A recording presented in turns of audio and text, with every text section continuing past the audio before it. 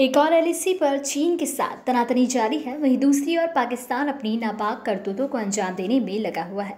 खबरों के मुताबिक पीओके में पाकिस्तान की वायुसेना लड़ाकू विमानों की तैनाती बढ़ा रही है। शनिवार को पीएएफ में मौजूदा प्रमुख air chief marshal Mujahid Anwar Khan ने पीओके में स्थित एक एयरबेस का दौरा भी किया। पीटीआई की खबर के मुताबिक पाकिस्तान वायुसेना के प्रमुख ने शनिवार को पाकिस्तान के कब्जे वाले कश्मीर में एक बेस का दौरा किया। वहाँ उन्होंने विभिन्न ऑपरेशनल गतिविधियों का जायजा लिया। पीटीआई ने रेडियो पाकिस्तान के हवाले से बताया कि गिलगित बलिस्तान के स्कार्दो में पीएएफ बेस कादरी में मौजूद जवानों को संबोधित करते हुए पाकिस्तान के air chief marshal Mujahid Anwar Khan ने कहा कि पीएएफ अपनी सिस्टर सर्विसेज़ के साथ कभी भी प्रतिकूल परिस्थिति में किसी भी दुस्साहस का जवाब देने के लिए तैयार है।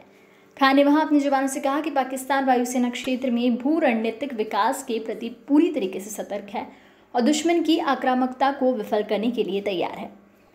पीएएफ चीफ ने अपने इस दौरे के समय बेस पर फाइटर एयरक्राफ्ट और कॉम्बेट सपोर्ट की चीज़ों की तेज़ी से की जा रही तैनाती का भी जायजा लिया। इससे कुछ दिन पहले खुफिया सूत्रों के हवाले से खुलासा हुआ था कि जम्मू कश्मीर के राजौरी सेक्टर के सामने पाकिस्तान अधिकृत कश्मीर में चीन ने पाकिस्तान को सर्विलांस सिस्टम से लेस किया है। सूत्रों के हवाले से जानकारी सामने आई थी कि पीओके जियारत टॉप और फॉरवर्ड डिफेंस लोकेशन चलीरा में कई जगहों पर पाकिस्तान ने चीन की मदद से आधुनिक सर्विलांस सिस्टम लगाया है। इस सर्विलांस इक्विपमेंट से भारतीय सुरक्षा बलों की सामरिक गतिविधियों पर नज़र रखने का बड़ा प्लान तैयार किया गया है।